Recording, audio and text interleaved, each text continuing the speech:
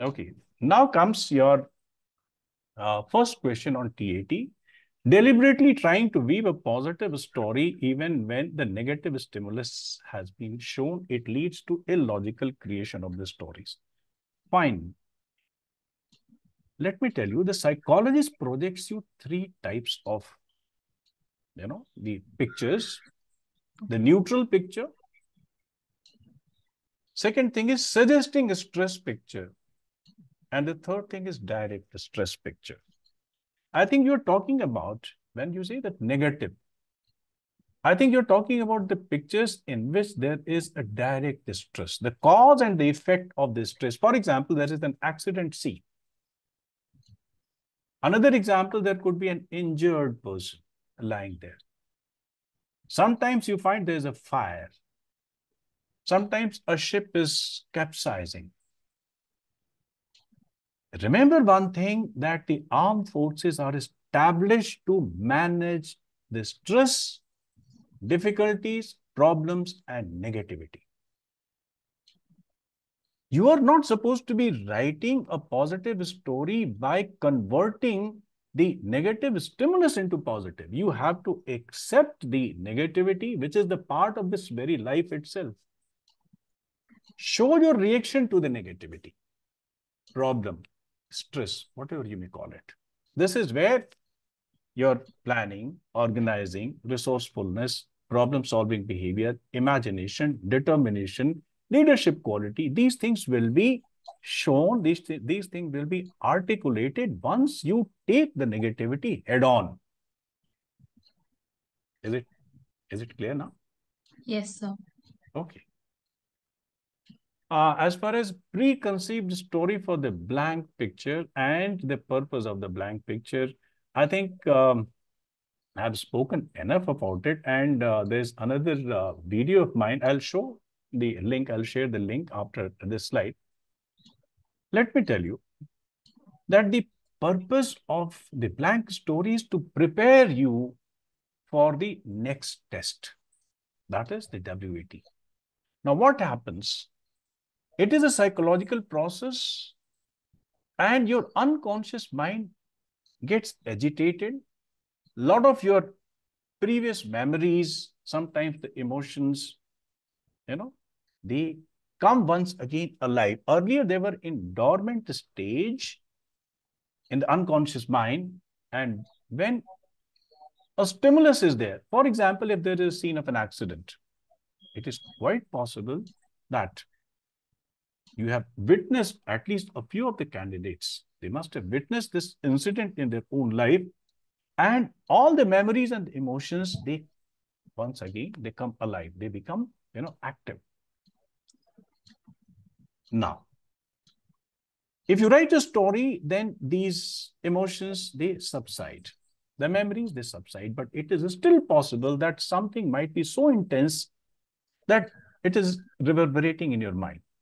And if there is some stimulus in the WAT to this effect, let us say the word is accident or the word is injury. Your emotions, the residual emotions and the memories might interfere with your response. So we want that such a type of psychological unwanted crash must be driven out of your mind. So the purpose of the blank story is to give you a vent, a window, so that the residual energy, the residual you know emotions and the memories, which otherwise could interfere with your responses, they should be flushed out. You will, um, I'll share the, you know, in the next slide, I'll share you the, uh, you know, the link. Go there. On 2nd of September last year, I have, uh, you know, posted a video please watch that. I think you'll find a very, you know, convincing answer about what is the purpose of uh, the, you know, blank story and how to go about it. Sure, now, coming to your last question, and uh, appreciate uh, Sridhar's, uh, you know, patience because he also uh, needs the answer to his questions. Okay. Right. Coming to uh, the uh, fifth question of uh, Shruti, that is for you know, I mean, in you are you are shown 11 pictures or 12 pictures, and do you feel it is uh, compulsory for us to select a hero of our own gender? देखो, technically speaking, any person who is uh, carrying forward the issue, solving the issue, let us say, whatever is the task, completing the task, any person can be hero, but any person could be this, you know, central character. But in our Indian context, let me tell you, where boys and girls, they are being raised with different role expectations and with different concerns. The society is not yet free of this discrimination. And that is why, frankly speaking, we have got different TAT sets for boys and for girls. So I hope this gives the answer. Okay.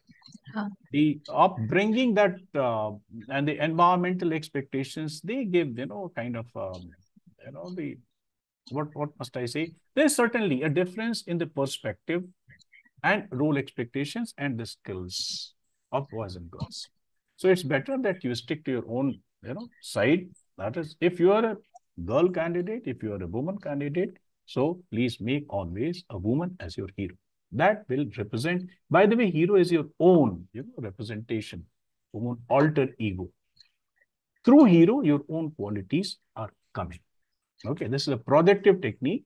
This simply means that when the main active person of the you know situation is not defined, then the person taking the test himself or herself projects qualities on that third person.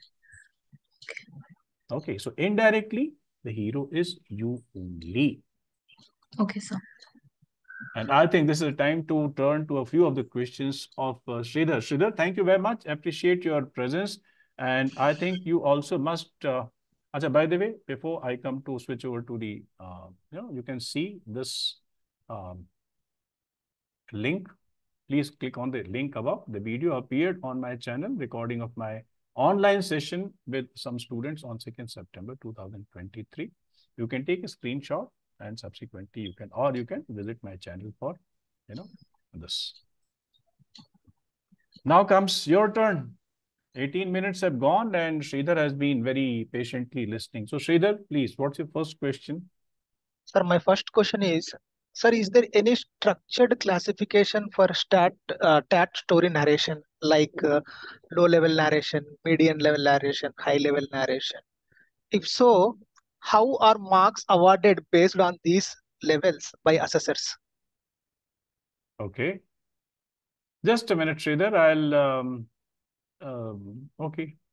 Okay, okay, okay. Uh, Sridhar, um, okay, your next question. Sir, my next question is, uh,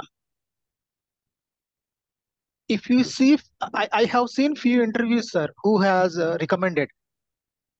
They told that uh, we exposed uh, our own life experience in TAT stories. Okay. Uh, I got some doubts, sir. Sir, mm -hmm. is TAT require personal experience at all to tackle crisis, or even we can assume a hypothetical situation and describe what we do if we were there? Okay, just a minute. Before we come on to the uh, your your uh, next questions, I think uh, let us uh, deal the questions one after the other. You have written, is there a structured classification for TAT story narration, such as low level, medium level, and high level? Now, see, there's nothing like structured classification. We believe in the individual differences. What makes your TAT story effective? See, there has to be, you know, there are three things. One is there has to be a well-defined, valuable task, which is related with the modern life, right? Second thing is, there has to be a person who is competent to take up the task in his hand and he goes about the task. And the third thing is that the person you know, initiates some actions, planning, resources, so that the task is achieved. Now, as far as the task achievement is concerned, successful task achievement is the criterion? Acha, I would like to tell you very categorically that in psychological tests, we do not go by the qualitative evaluation. Sorry, quantitative, my mistake. We go by the qualitative evaluation. So there's nothing like a scheme of marks individually. This is certainly a misnomer. I hope you understand. Yes, sir. So how the hero was able to achieve a task successfully, this becomes the criterion and this criterion is rather qualitative than quantitative. Coming to a second question. Does the TAT require personal experience to tackle crisis or we can assume a hypothetical situation and describe what we do if we were there? I think the question is a very, very technical question. And on that, you'll find many people giving very different opinion. And frankly speaking, it is this, this question comes from a very, very vast area of ignorance. And that's why people say that you have to pick up a task, pick up uh, maybe a problem, an issue from your own area, from your own, you know, uh, the, the qualification, experience, and the life which you are leading. This is where I want to make it very, very clear. Please understand that it is just not everything to our experience. We learn so many things in our life with the interaction of the people, interaction with the life. Let's say in your family, you are the person who is doing the business. Your youngers are observing you. And you also must have been observing your elders from the different fields of life, isn't it? Yes, sir. In one of my videos, I have given this example. Let us say I hail from the family of lawyers. Starting from my grandfather to my father to my you know siblings and even to my daughter. There's a chain of people in the profession of law. Right? Law is not my personal experience, but it is interaction with the people. I can very well make a story on the life of or the issue, you know, from these fields. Similarly, you are not a doctor yourself, but don't you, by your own interaction with the life, by your own, you know, the, you know, familiarity with the different situations. You're not a railway man, but you must have traveled quite a lot. So you know that how the what is the life of a TT or guard or the engine driver. So what I mean to say that the interaction and familiarity, this makes you evolve and diversify your experience. Okay, everything cannot be your personal experience, but yes, whatever you have learned, and learning is just not, not by the personal experience only. Okay, learning is by exploration, by reading, by watching, by visiting. So I hope you got this thing that Yes, please, sir. I will recommend instead of taking up or picking up the issues and handling it through your own experience only, please diversify. Okay. Hope I'm clear. I'll take one of your Yes. questions more because it's going to be more than 25 minutes since.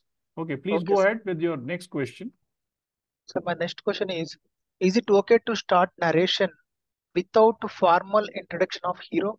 Because if you see in few scenarios, the hero enters directly into action after a short introduction of what led to situation. Because there is no time to introduce about hero, sir. He directly plung into action. Then is it necessary to introduce about hero? Uh, frankly speaking, uh, there's no fixed way of uh, going about the stories. Sometimes we give for the purpose of uh, ease of the students that you introduce the hero, then introduce the task, right? These are the ways through which one can go about the, uh, you know, the, the stories better. And in the introduction, what do you have to write? I suggest always to my students, just three things, the name, put a comma, approximate age, and the social or professional identity of the person. Must.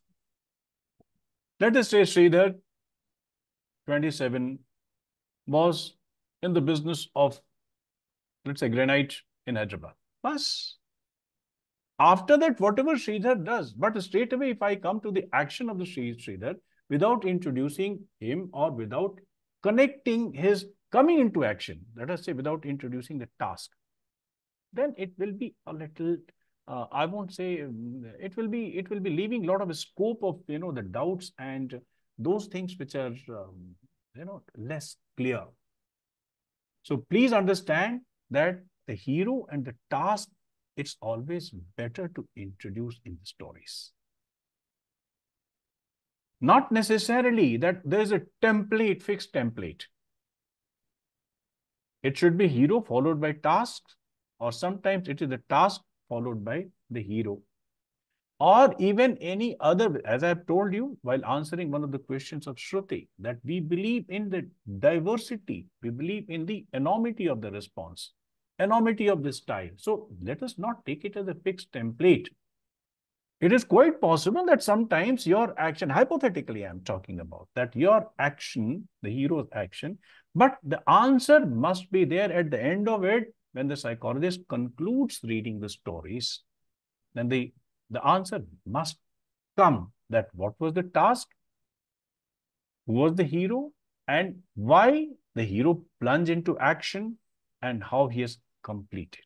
So this must be answered, right? So, um, uh, though you have given me a number of questions, uh, Sridhar, but I feel that it's more than half an hour of the. all right, sir. So we will we will connect once again. Okay, right. Just don't go. Just don't go away. Just don't go away for the time being.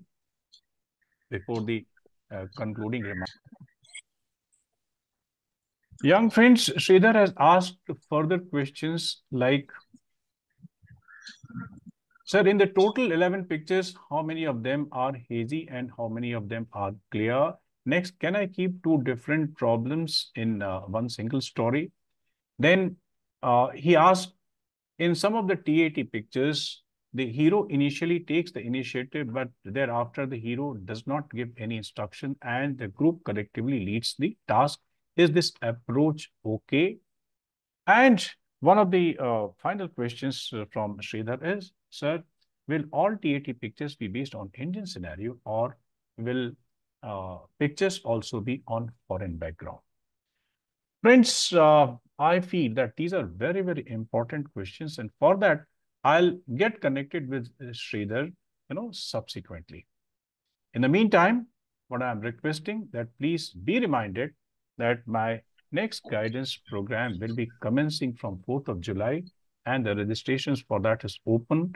And here uh, I'm, I'm giving the link. You can use these links, pay this 500 rupees and book your seat.